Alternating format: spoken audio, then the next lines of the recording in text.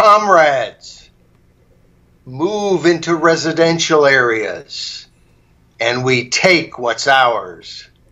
Well, that's a quite a note there. Um, that was uh, from your first uh, episode this week, Victimhood Conspiracy. We don't know if that's true, by the way. We don't know if that's if, if that was a real uh, Antifa thing or somebody faking to be Antifa thing. That's one of the interesting things about Antifa. You never know what's real. Well, it, it's interesting because I talk to people who argue about what is or isn't Antifa, uh, which is how I say it, and and uh, and it's since it's not an organized group, so to speak, it doesn't have letterhead and a you know board of advisors and so on.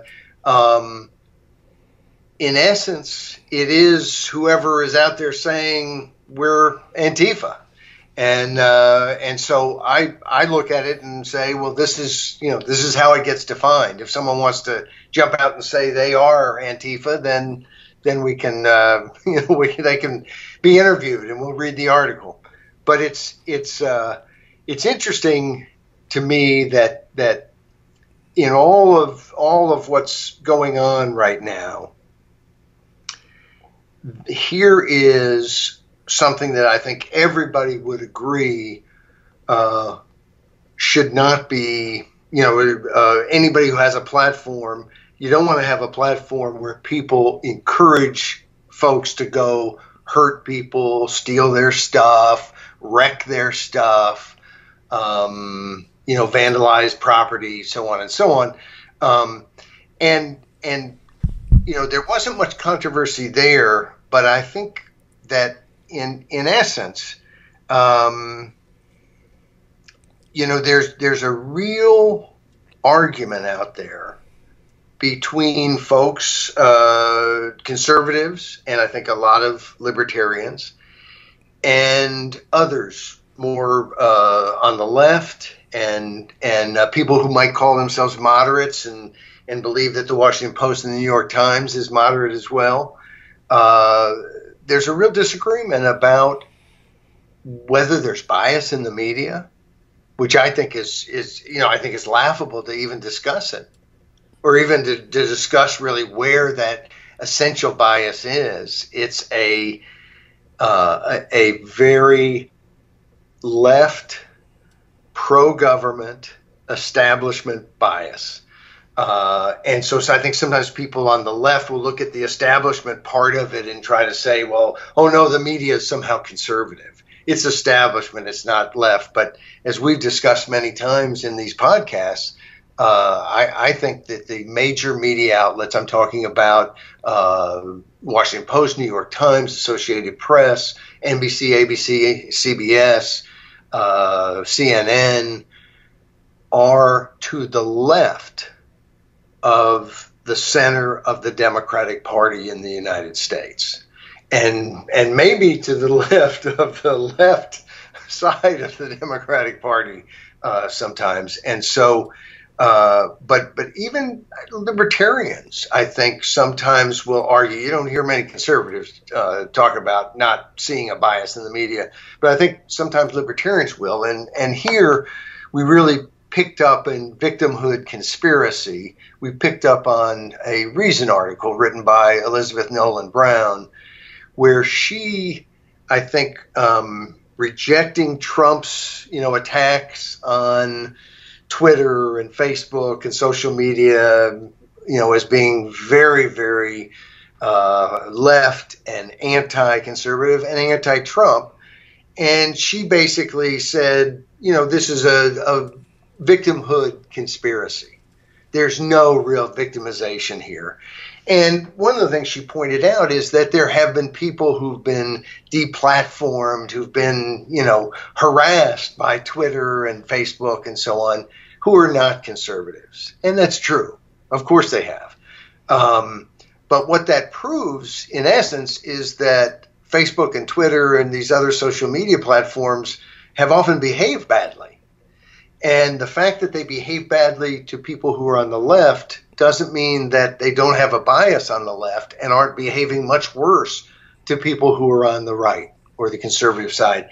And you know, I think it, it to me, it, it, I harken back to uh, Uh, of course, major media in this country doesn't call it a scandal, but the IRS scandal, where the nonprofit uh, center of you know dealing with nonprofit uh, IRS issues, uh, groups like mine, Liberty Initiative Fund, or Citizens in Charge, or National Rifle Association, or MoveOn.org, or any of these different organizations, there was a push where people were forming, the Tea Party groups more and more were forming, and there was an effort to block them from forming.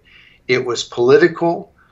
I think early on there were some people who suggested it went all the way to Obama. I never saw any evidence of that. I thought it was stupid to ever mention anything like that. If you have evidence, you have evidence. If you don't, why create some ridiculous conspiracy theory? But it clearly went on. And while it's true that there were other groups on the left, in this middle, wherever, who also received bad treatment uh, and blocking, uh, you know, in a in a free country where you have a First Amendment right to organize and assemble and agitate and speak out and there is a system by which you can get nonprofit status because you're not trying to earn money, you're trying to convey a message. And the government actively tries to block people of a certain viewpoint, like Tea Party people.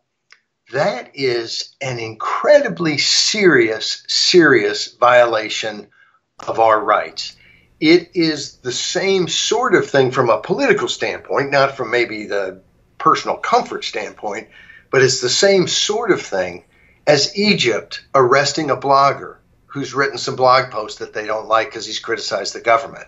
Now, he's going to be in a more uncomfortable jail. You just can't start your group. But both of them are at the very heart of political freedom and the ability to speak out, to connect with other people, to decide issues as citizens. It is a, an attack on citizen control of government. And sadly, we expect it in Egypt. And unfortunately, we don't often expect it in the United States, and sometimes we get it. So that was a that that's a serious, serious problem. And of course, it went both ways, but not 50-50. It went both ways, maybe 95-5. And I think that, that the bias that these social media organizations have, it wouldn't be okay if the uh, if the bias was flipped. That's not uh, you know that wouldn't be. I'd still be talking about it um, because and and not because you know they have a right to their bias. They have a right under certain laws. Now that's part of the the question is whether they haven't gotten special. Uh, you know uh, permission from Congress to do certain things as a social media platform that other folks are not allowed to do. But in, in, in just pure forms, they can do what they want to do. Uh, we, Congress, should make sure that they get no special benefits. Um, and that nobody does. We let's stop all the special benefits and let's have rules for everybody that are fair. But but anyway, this it it, it to me, I think what's going on in our world today, uh, from China that we'll get to later, uh, that seems to want to bully speakers that aren't even in their country, uh, a half a world away, uh, and hates free speech, uh, to a, a Western world where social media platforms seem to want to police speech in ways that we just are not used to having our speech policed. Um, and and as we've said many times, and then I'll, I'll leave this. Uh, freedom of speech is at the zenith of all of our freedoms. It is the thing that America has has. It's the gift we've given the world, and we ought to stand behind it. The rest of the world would sure like to have it. Um, and um, you know, that's the thing that I think uh, we think about government and private sector and where the laws are and so on and so on.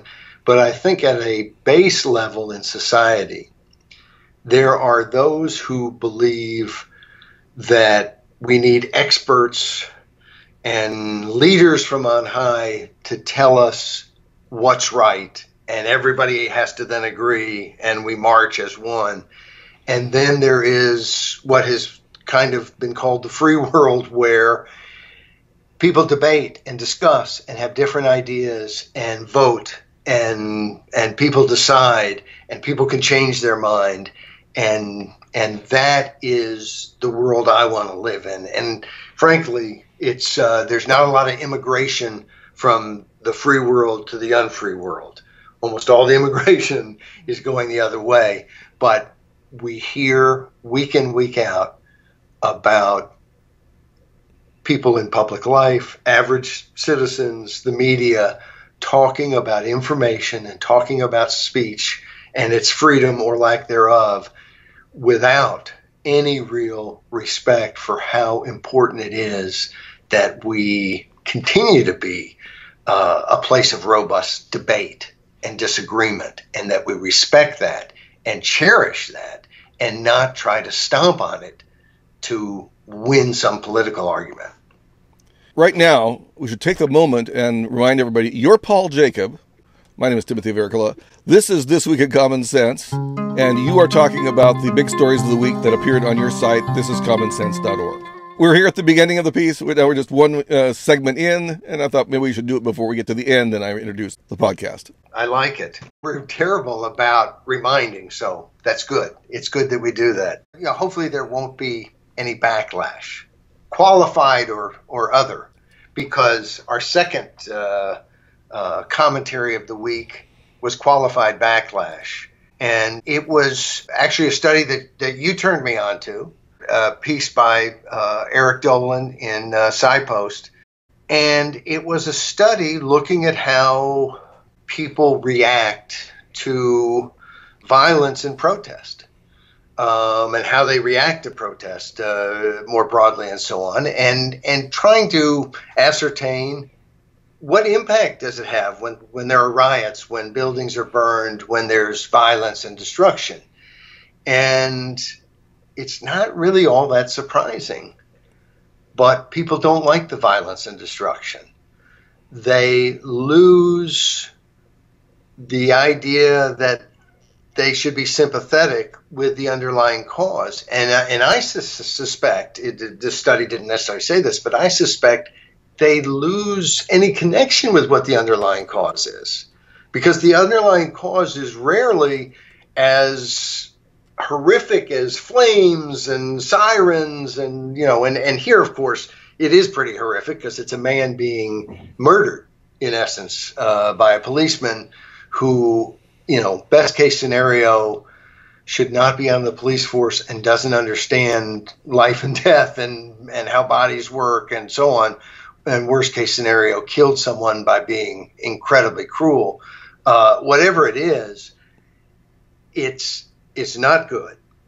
And of course, it has led to this whole conflagration where you know you you've got the the country rioting and burning, and, and of course, most of the country's not rioting and burning, but large uh, parts of it are.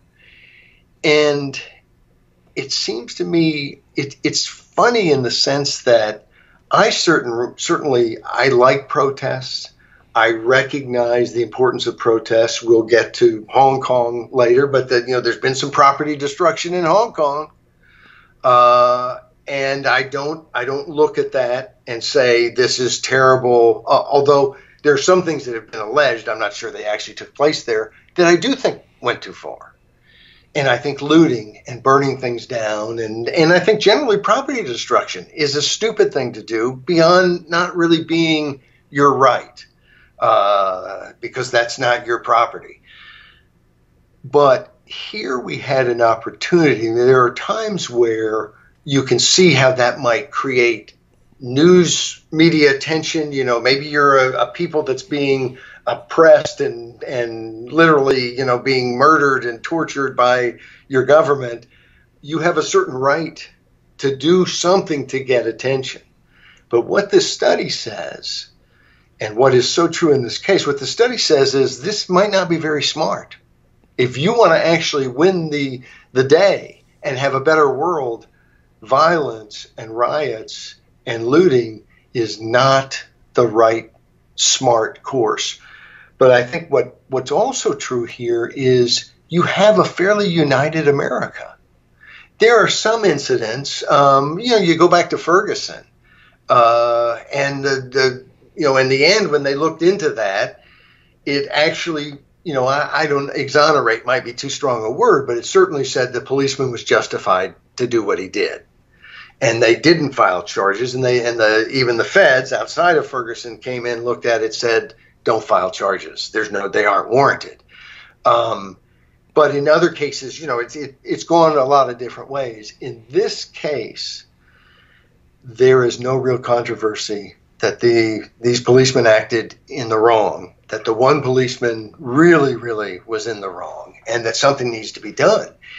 And to me, the importance of of seizing this moment is to unite people in doing something that makes it less likely to happen again and so often we we're going to have a conversation about race, which I think probably is a good idea. But it's not going to solve these problems because in conversations, you know, that won't change the dynamic on the street. I think uh, anytime soon enough. What would change that dynamic, which is something that last week we we uh, advocated, and then mentioned again in qualified backlash, is ending qualified immunity for police officers and other government officials while we're while we're at it. But don't allow police to somehow be immune to prosecution unless they acted in completely bizarre ways, if they act in unconstitutional, illegal ways, and if they kill someone without just cause, they need to face the music. And and so much of what's happened, I think why we've had so many people die, not just black people, but a lot of black people, a lot of people of color, a lot of people of the color white have been killed by police. Police in this country have been militarized by our federal government, dumping all this military stuff on them. The drug war has created an excuse for them to be in everybody's business and to be criminalizing people who may have a problem but don't need to be criminalized. I mean, if, if, if you knew someone who had a drug problem, would you tell them to go down to the police station? Or would you send them to a rehab or to a doctor or something? It's it's ridiculous, and it has. It's not just that it's been harmful for the people who get arrested and imprisoned on drugs it is harmful for all of us because it, it, has led to a slippage of our Fourth Amendment rights against illegal searches and seizures. It's led to all kinds of excuses for the police to have superpowers, civil, civil asset forfeiture, where they're stealing from people uh, who committed no crime, charged with no crime. Our criminal justice system is in shambles and arguably the one of the best things that's come out of the Congress and, and, working together with President Trump was the criminal justice reform bill that came out.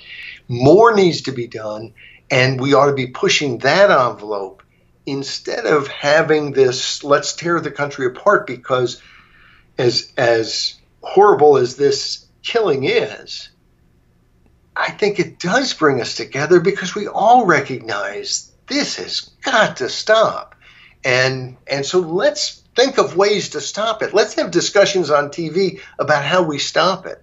And we can have discussions about race too. But the discussion about race is about changing people's attitudes. And that's not the same thing as changing the law. And I want to stop policemen from shooting people that shouldn't be shot whether I can change their minds or other people's minds, whether some old man in some place has some crazy idea, I, I want I want to change his mind. Let's change the law and let's make sure that there are consequences. Um, because I think that the you know one of the things uh, that has surprised me pleasantly about the criminal justice issues from police cameras, uh, where they're you know they're all over the country now. They're, they're the public support is 80s uh, in the in the high 80s. Uh, more support for police cameras and changing civil asset forfeiture than things like term limits, uh, which are pretty darn popular. So um, the American people are there on criminal justice reform. We just haven't been able to find the levers to push uh, to get it done. And uh, and this should be a time that the Congress and the White House come together, and that people come together to say let's do something about it. And instead, it's it's been let's rip things apart, let's burn things, let's loot. Um, and and that's not to say, hey, this isn't important. This is absolutely important. It's just how are you going to do something about it? In other words, the importance of this and the and the anger about all these people being killed, it's understandable that that would make people angry. It doesn't mean that the next thing to do is to release that anger by looting or rioting or smashing something. It may be understandable why someone just went crazy and did that. Doesn't make it right and it and the bottom line of that um, of that study is it's a way not to get change and if we want to stop people from being killed we've got to get change and that that requires us to use our noggins and and do the right thing run the right campaigns make the changes no no excuses no let's not run around blaming people let's get everybody together we can get together and make these changes. I'm leery about protests if the protests seem ineluctably turning into riots. If every time you protest in a certain way, it becomes a riot, I think that you're probably doing something wrong.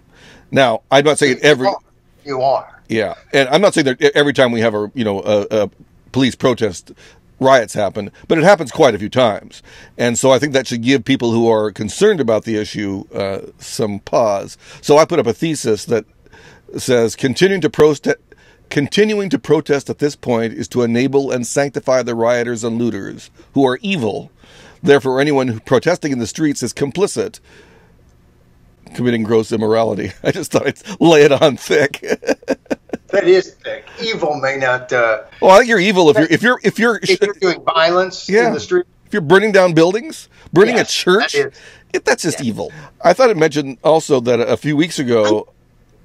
Uh, uh, just to speak to that real quick, though, it's I would would hope that there is leadership behind some of these things that would find ways to prevent that sort of thing from happening. In other words, that you would have certain ground rules that would say if anyone starts to destroy property, move away and call attention or so you know just different strategies that would say we're not going to have our event hijacked by violence we're not going to let it happen or think of different ways to do it we're now going to go sit in at this place and we're all going to lay across the street or whatever it is it's hard for anyone to smash anything if they're laying on the ground. And if they're not laying on the ground and they're smashing something, they're not part of your effort.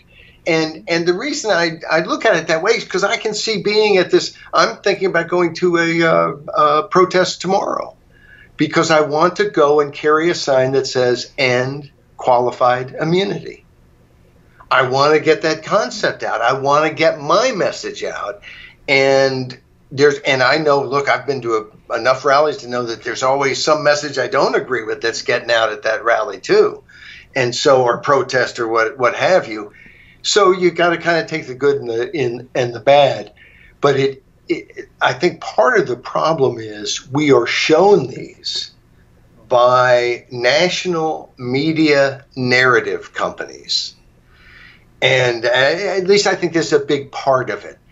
And so these protests take on the this is the the man who's been put upon rising up. In other words, this is this is the beginning of of Marx's revolution or somebody's revolution that says, "I've been oppressed long enough, and I'm going to do something about it." And and that happens. That's happened in history. It'll happen again. But I don't think that that's what's happening here and and I think we would all be more sympathetic if if that was what's happening here. I think what you have here is a lot of people coming together to protest what we all agree has got to stop, and that is horrific police behavior. The more you make this about, you know, that somehow the destruction has a cause that is connected to the policy issues that are being debated, um, the more you justify that destruction. And I think that a lot of people see this as, you know, a revolution against the man and oppression. And if you see it that way, then you're much more forgiving of bad behavior. You're tearing down the well, well, the, like the uh, like the the tweet. Um, they're taking back what's theirs. They're destroying what someone else got and stole from them. And I just think it's much, much better to instead look at it and say, rather than it being part of all of human history, what's the problem? Can we solve it? Is there something that we can do to to solve this problem? And then how do we implement that solution? And of course, you might say, well, we're so put upon that we've got to get enough attention, and therefore we need mass protests. And maybe you can think of other reasons for having mass protests. But those protests have to, they have to move people's hearts and minds. And and so that's you you've you've got to and and I think that the more they're focused on solutions, the less they're likely to get hijacked by violence. Because if the solution is to end uh, qualified immunity or to get better rules for police cameras or to or it's five of those things or it's to go through a whole list of those things spray painting the the bus stop or smashing some store's window just doesn't seem at all related to that if instead you're revolting against an evil society well, then destroying things in that society almost kind of makes sense, doesn't it? And that's the I think that's the difference in in uh, attitude about it. And and which one do you think it is? Is it a, uh, are are these people who are looting and and uh, destroying property? Is it because of our evil society, uh, and they're just a, a voice in the wilderness trying to wake things up, or are they full of it and actually getting in the way of a lot of decent people who we might agree or disagree with, but decent people who are trying to do good things to make our our society a better place.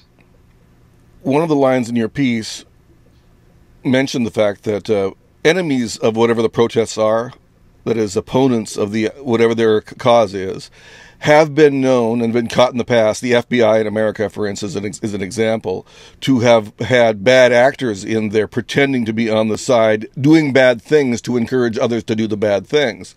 And we know that some of that's gone on. We also know that Antifa has got in into the act to some degree in many of these protests to turn them into riots. Yes. We don't know the extent because the reporting has been very bad. There's reason to believe cops have been involved too, undercover cops that have been making things worse, and we have to wonder why. You know, I read the report, uh, Rights in Conflict was the name of the book form of it, but it was, I think, the Warren Commission. I might have that wrong. It was the commission that did the, the report on the Democratic National Convention in Chicago in 1968 and the riots and protests around it. And there were several incidents in that book that were documented. One where they started to burn an American flag. Police moved in, big riot ensued. The person burning the American flag was an undercover undercover government agent. And we see this again and again, and it's it's not always government agents. Sometimes it's people on the other side who do things, but uh, That's why it is important to police your own activities politically. It's not always easy. It doesn't mean that if something happens, it's their it's the leaders of the protest fault. That's not what I'm saying. But I am saying, suggesting that you do want to police it and you do want to condemn it when bad things happen. And uh, and I'll tell you, we need some sort of maybe new laws. I'm not big on new laws, but we need something that says it is a awfully serious crime if we find government undercover agents committing crimes and encouraging crimes so that peaceful protests are turned violent by the police. And it has happened. And there's a lot of accusations that it is happening and has been happening very recently in these in these protests and riots and so on.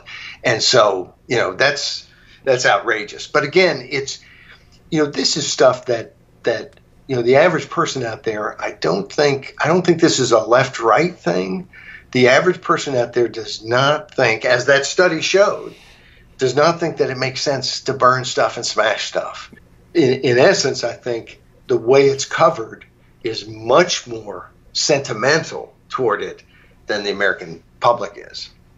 Speaking of uh, sentimental, one of our sentimental favorites is President Donald J. Trump. I mean, everybody, he's such a nice guy. Everybody just just wants to get close to him. You know, just way to go, guy. You're my type of sweetie. Anyway, uh, our our uh, Wednesday piece was called "Trumping China?" question mark. After doing it, I thought this may be the most pro-Trump common sense commentary I have ever done. And I have congratulated him on different things, like, you know, uh, appointing uh, Neil Gorsuch to the Supreme Court. And I'm sure there have been some other things, nothing like jumps to mind. And I've criticized him as well. Uh, but I've, I've tended to cover more how he's being covered, uh, which is, I think, fascinating and, and not well. But in thinking about uh, and talking with some people in Taiwan and and uh, in Asia about China and Trump, I was fascinated by the fact that they were socially i don't know what the right word is i don't know if it's socially or just temperament wise not and and politically more to the left not pro Trump, a little bit off put by Mr. Trump. And yet, they like him. They like him because of his positions on China. And they like him because he took the call uh, from the president of Taiwan. Um, because he's done things. And and this piece doesn't go into it. We're, I'm going to do one next week. I've already started writing it uh, about some of the little things that uh, that President Trump has sweated on the China relationship. And we've talked about this before. The the postal rates that were subsidizing, making it cheaper for folks in China to send cheap trinkets and different things in the mail to people in the United States for less money than it would cost to send it across town in the United States. And so there was this huge subsidy to China, and president after president, you know, bitches and moans about it, but doesn't do anything about it. And Trump comes up and does something about it. These pension funds, federal pension funds, are looking to invest in Chinese companies. Well, every every company in China if the CCP, the Chinese Communist Party, decides tomorrow that we're taking over all your company and taking all your money, they do it. And so it's not like you're investing in some private Chinese company. This is investments in China. Do we want our pension fund, our pension funds? And and look, if they're private, they get to do whatever they want. But if they're public, there's plenty of things to invest in in this world. Do we really want to be sending our money to help build China? to help you know make sure that those concentration camps where a million or two million Uyghurs are being held have really strong walls and a, a nice security system. So um, it's just interesting to see their take on uh, Donald Trump, and of course this uh, this one YouTuber, uh, Dream Lucid, uh, fellow's name is actually Christopher Raymond Hall. He's uh, he was uh, born in Britain. He actually was educated in the United States. He says he, uh, I guess, came of age in Taiwan. He lived in Taiwan uh, for about a dozen years. Also lived briefly in China, and and does his YouTubing currently from London. Anyway, he had a long rant, about a nine-minute rant, uh, that was right on the right on the mark as far as seeing how the West generally had placated and appeased China and bent over backwards to allow China to get in a position that's very dangerous for people in Taiwan and in Hong Kong, as we're seeing, and um, and it it he also was very very worried that the West was so divided and that the American media and that a lot of the elite opinion was so anti-Trump that if anything hit the fan, I mean, he he uh, announced in in writing something about this particular video that he's very worried about an attack on Taiwan, a military assault on the island that would kill millions of people probably. Um, and I know other people there who are worried, and they have every every reason to be worried. And so his his big question was is the West so divided that to oppose Donald Trump if something happened and Trump wanted to intervene in some way to send some help to Taiwan to move forces in that area would they oppose it in knee jerk fashion because Donald Trump is a bad guy and um, you know, it's it's interesting. If anything should unite us, opposition to totalitarian China and support for free and democratic Taiwan should unite the free world. Um, because he was also uh, Dream Lucid, and other people are also talking about Europe. Europe has had uh, the same track record, except worse, in terms of letting China get away with murder and, I, and I actually mean murder. Um, and so, you know, this is, uh, I, I, just thought it was fascinating um, because uh, although he's British, uh, um, you know, he spent a lot of time in Taiwan and was saying the same things that I've heard from so many people that I know in Taiwan. And then, of course, uh, the, the, the very next day, Tim, uh, is the 31st anniversary of the Tiananmen Square massacre. You know, it, it's interesting because Tiananmen Square and, and Hong Kong, when Tiananmen Square happened, I never really thought about this before, but when it happened, of course, Britain hadn't handed over Hong Kong yet. And that came, you know, eight years later, which you, I, I kind of wonder, geez, uh, that might give you some pause to hand over Hong Kong. And not that not that Britain came by Hong Kong honestly, they didn't. Uh, but but uh, interestingly enough, and then of course, as this anniversary comes upon us, um, here is China basically violating their agreement and moving into Hong Kong in a way that, of course, it's not quite the quite the same. There aren't the tanks rolling in. There's not one guy with a you know a satchel uh, and books uh, standing in the way of the tanks.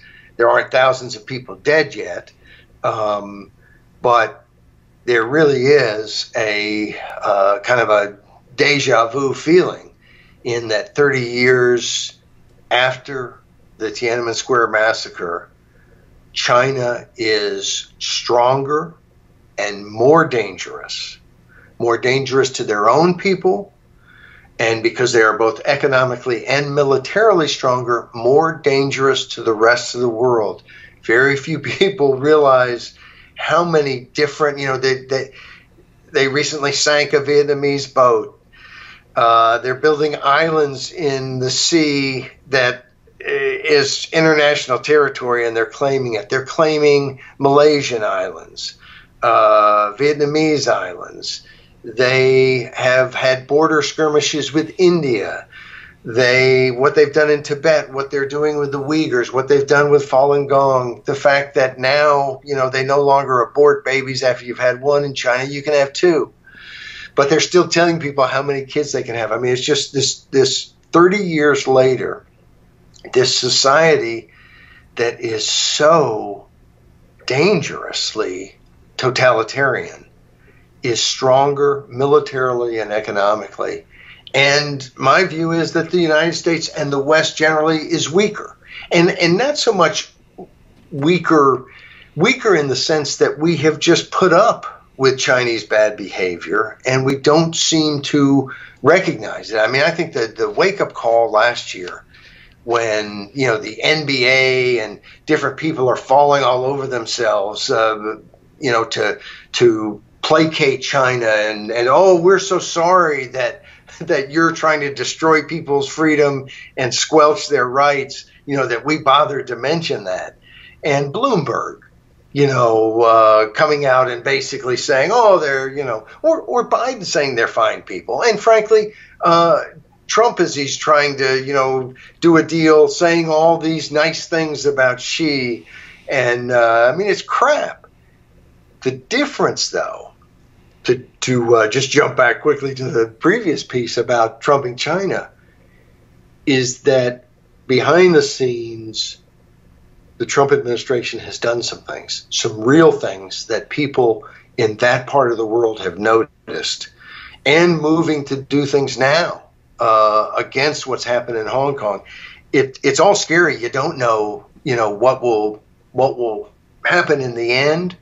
Uh, you don't want to provoke war. You also don't want to appease tyranny. So it's a, it's a it's a tough thing. I'll tell you, we we uh, I ended this too many Tiananmen's uh, piece by pointing out though that there's a big difference, uh, or that that basically here in the U.S. at the time that we have this Tiananmen Square uh, anniversary, we are clearing people from Lafayette Square.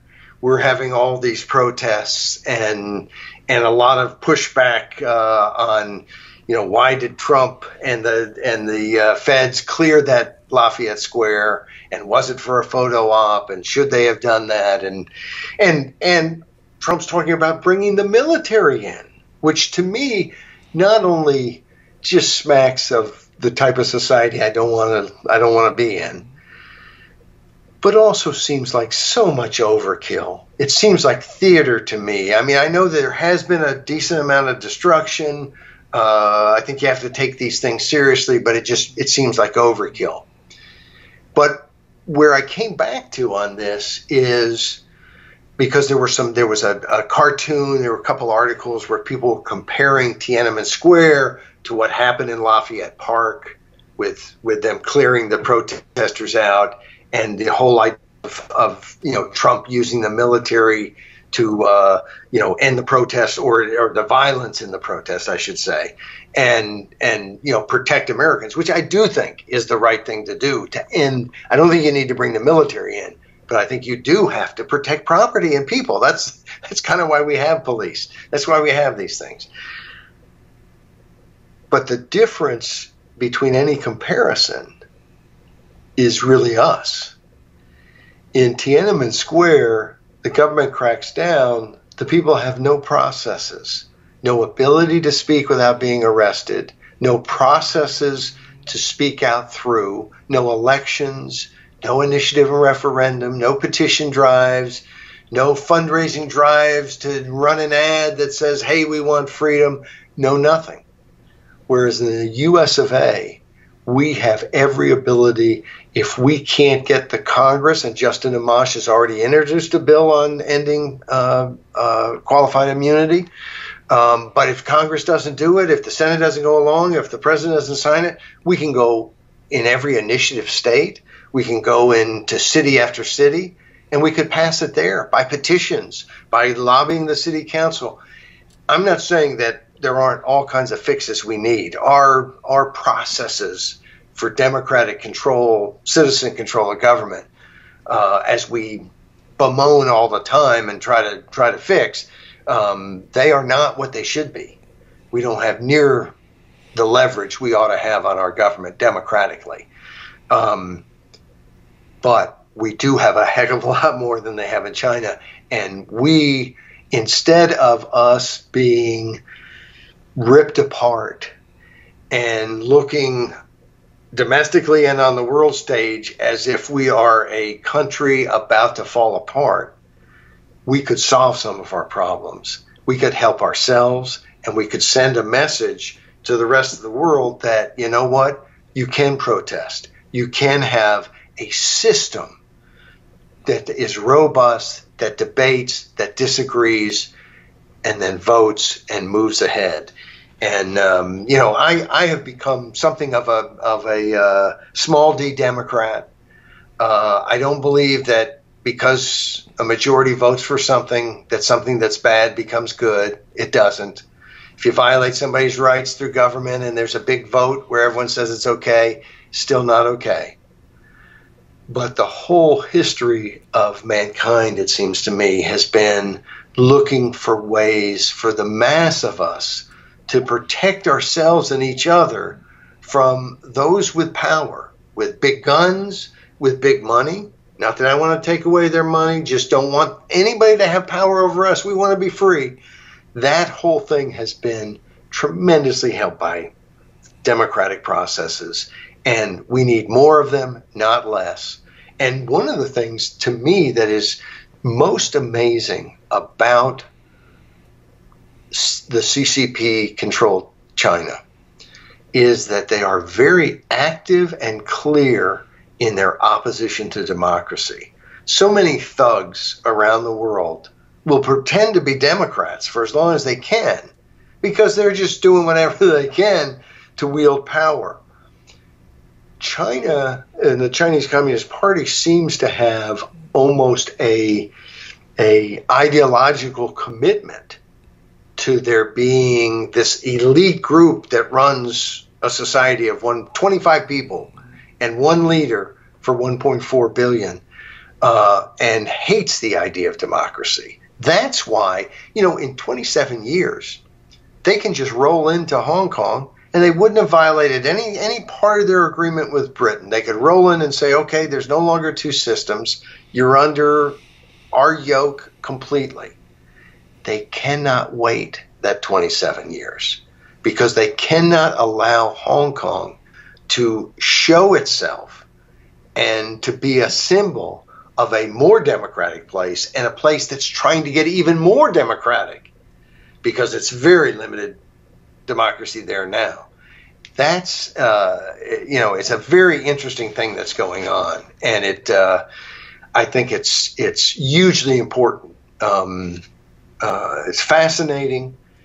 It's inspiring what uh, young people with very little chance of success what they have been able to do and accomplish, and I think they've woken up a lot of the world. What what happened with the uh, sunflower student movement in 2014 in Taiwan that I think turned around a slow slide into a client state of the CCP, uh, followed by protests in Hong Kong and these protests the last year, the 2019 protests in Hong Kong, I think has has woken up a lot of the world and and may have in the end, I hope, will have protected a lot of the world from China becoming a much bigger monster. And hopefully someday, by stopping China from becoming a bigger monster, it will overthrow uh, the CCP. And interestingly enough, uh, enough, there's a story out today, and I did not think, I can't think of how to pronounce the guy's name, but he's a huge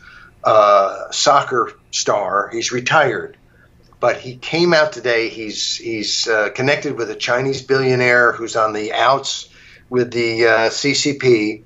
He's also connected with Steve Bannon, and he came out today or yesterday and said that the CCP should be overthrown. They need to start a new federation in China, and that the CCP is a horrible, horrible government. Um, and it's interesting because in news reports initially, he was attacked, and then of course they withdrew the attacks because they didn't want anyone to know that he had said what he had said. So the the censorship at first was all to hit him, and then to pull back and pretend nothing had happened. Um, but anyway, it's it's uh, you know, China has gotten a lot richer. I think there is probably more support for that government than there was years ago, just because people's lives are better in that sense. But they are very, very, uh, I think, vulnerable economically at the same time. And I guarantee you, nobody expected in 1989, as we mentioned in this commentary, it was a huge surprise that all of a sudden there were these protests uh, in Tiananmen Square in Beijing. Nobody saw that coming. And the students go out and protest, and then there are millions of everyday folks, white collar, blue collar, all over the Beijing and all over the country who support what they're doing. They don't get to communicate with each other for the most part, but when somebody stepped forward, they were met by millions. So, you know, at the same time, people people can see through the the BS that comes from the government, just in the same way that that we can see through our own government's BS. And um, and I think um, I think there is hope for for you know China someday being a free place.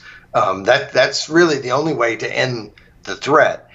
But part of that is for the United States to be an example to the world, to be a strong place. And the only way we're strong is by being free, by being free and having the that that intellectual freedom and that economic freedom to to you know help the rest of the world. A few weeks ago on your site, there was a quote from Yves Guyot, who's a French economist that no one but me reads anymore, and uh, and I, I, love the quote because it. Uh, we've been you've been talking about tyranny in the last two pieces, but earlier it was about the kind of the anarchy on the streets, and uh, right. uh, and he uh, he he said this: we must not confound liberty with anarchy. Liberty is the reciprocal respect for personal rights according to certain fixed rules known by the name of law. Anarchy is the privilege of some and the spoliation of others, according to the caprices of arbitrary will, of the cunning, and of the violent, and the feebleness and lack of energy of the timorous. And that's his. That was his line. He, is, he had nothing to do with anarchy, and he, but of course, he was talking about is that the anarchy of violent riots and of people at each other's throats. He wasn't talking about liberty. Liberty was something different, and I think that that difference between tyranny on one side you know, on one end of the spectrum and mass violence on the other. In between is what we want. And we just have to figure out what that is better than we have right now, because obviously we have some problems. What I like about this quote, in part, is that he uses the terms liberty and anarchy as normal people would use them rather than as philosophical uh, anarchists or uh, you know, philosophers or many libertarians would use them according to, you know, basically a, a technical meaning. And for most people, right. anarchy does not mean, you know, peaceful living without a government, you know, without the state. It means, you know, without an archon. It's chaos. It's yeah, chaos for most chaos. people. And because what they imagine is kind of what's happening on the streets, is they imagine some people attacking others and getting away with it. Lots of people. I, I had a I had a friend years ago uh, when we discussed terms like anarchy more, uh, who said, This is anarchy.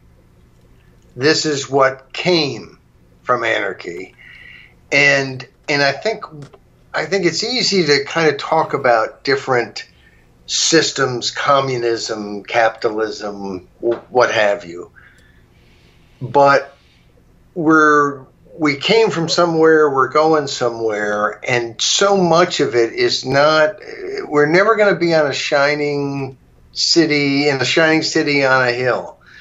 We're always going to be trying to get better. And so it, it, to me, so much of it uh, is is to look where we are and practically how do we get to a better place. And and when people talk about anarchy, um, it's it's the kind of thing where there's there's going to be it's not going to stay anarchy. Um, there have been been uh, people who have argued things like let's get rid of ICE.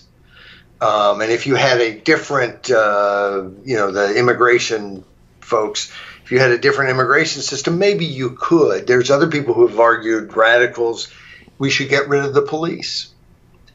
Well, there's always going to be defense and police, and because whether those are public or private, people want people want security and, um, and it just seems to me that that uh, they don't want anarchy. They want security, and they do want freedom.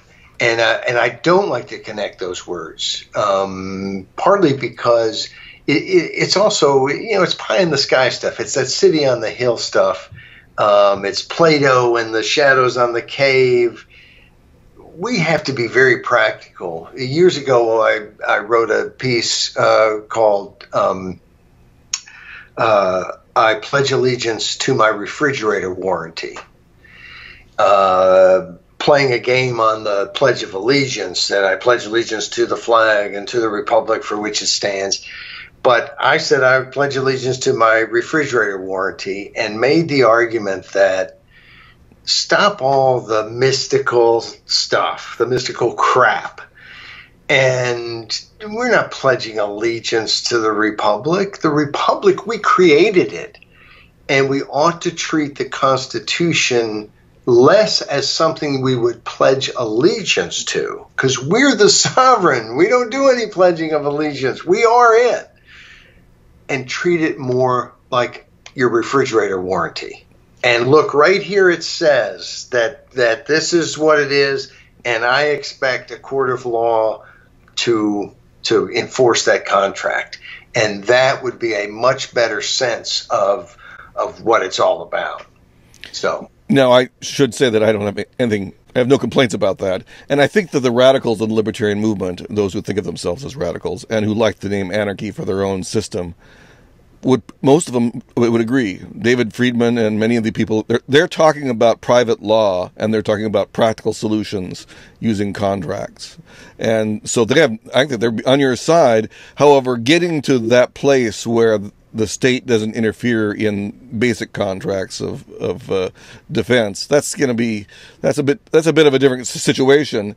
And what I liked about the Yves Guyot quote was that he put the rules of law as important for liberty.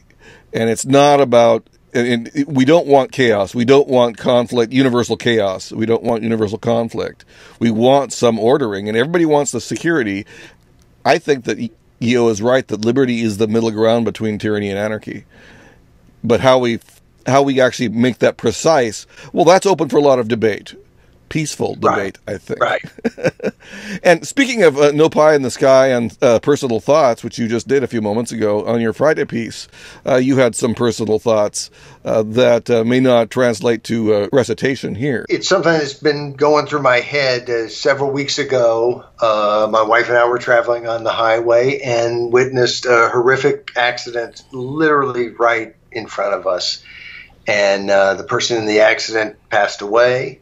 Um, uh, and and you know, I, I, don't want to tell the story here because it would take a little time, and and it's really not. Uh, I think you. I think people will have a better time if they go to thisiscommonsense.org. Thoughts in slow mo is the name of the piece, but it was about what that felt like and and some thoughts off of that, but really came to the conclusion that living and dying, dying is part of life.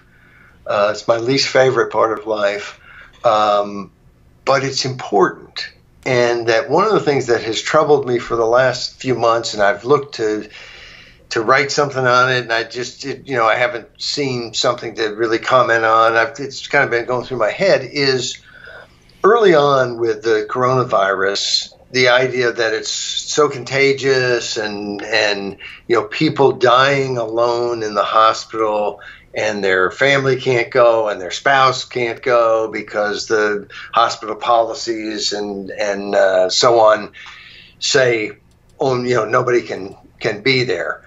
And you know I, I realize I haven't done any deep studies of every hospital policy in the United States, but I find that incredibly troubling. The idea that people would be dying alone. And I realized I was talking to a friend, and um, I, you know, we got to talking about our wives and so on. And we started out joking, and then, um, you know, said, "Look, I, I just can't imagine." uh, you know, my wife being in the hospital or me being in the hospital and not being able to be there at the deathbed. And um, and I think that that you know life is important, but it's how we live it. And I would not want to. I don't want to go out of this world trying to gain a couple extra days or years and not living it the way I want to live it, which is to be there for my wife if she were passing away, and she feels the same way. So um, that's something that I think our society has to take a look at, and uh, and I think we have to start talking to our hospitals and and saying, look, uh, you know, this is this is important. This isn't just about life and death. It's about how we live and how we die. Well, on that cheery note, I think we've covered the week. I think we have two. You froze, so I was very afraid that we didn't get it and we'd have to do another take. So I'm glad to know that it's it worked. Maybe I was just very, very still. You're still frozen or very, very still. Okay, well, it's I've been accused of that recently that I'm not emotional enough online. I don't tell enough personal stories. I'm always being uh, marshaling an argument with evidence and not uh, being personal enough. Well, okay. I think that I can cop to that. Okay, very good. This has been uh, the first week of June for uh, 2020, and uh, we can talk uh, to each other and the people next week. Sounds great, sir, and uh, I'll talk at you soon. Okay, bye.